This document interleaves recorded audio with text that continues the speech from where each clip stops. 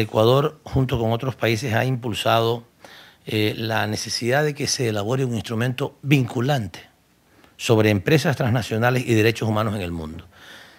De tal forma que este instrumento vinculante de las Naciones Unidas haga que efectivamente se respeten los derechos humanos y se respeten los derechos de la naturaleza cuando las empresas transnacionales están operando en nuestros países. Esta iniciativa ha tenido el respaldo muy importante de los países no alineados en mayo pasado, en mayo del año de este año.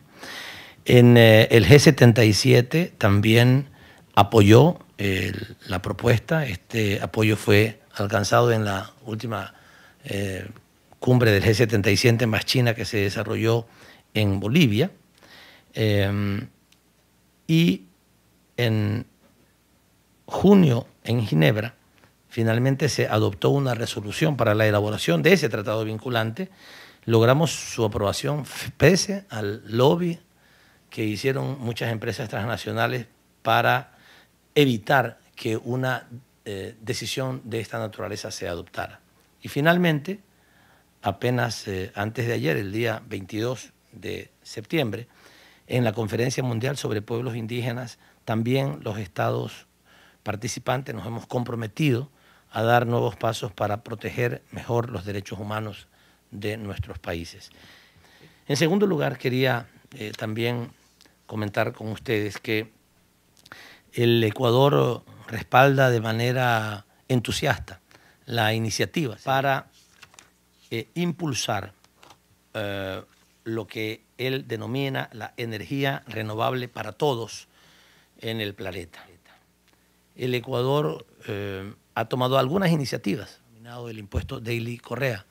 Este es un impuesto que se plantea que sea cobrado por los países de la OPEP a los grandes consumidores mundiales, a los principales responsables de la contaminación mundial y que esos recursos puedan ser utilizados para remediación y prevención de los efectos del cambio climático en los países subdesarrollados o en desarrollo del mundo. El Ecuador está impulsando en su interior una iniciativa que ya es una realidad de sustitución de la utilización de gas eh, licuado de petróleo por la utilización de electricidad proveniente de recursos hídricos. El Ecuador es un país pequeño, pero el ejemplo es importante, es emblemático y puede ser replicado en el mundo. El gobierno del Ecuador va a invertir algunos centenares de millones de dólares para favorecer y para incentivar la utilización tanto de la cocción de alimentos con eh, electricidad y con cocinas de inducción, como el calentamiento del agua también a través de la electricidad. en nuestro país eh, eh, será la sede en el año 2016 de un evento que es fundamental en la relación entre bloques mundiales.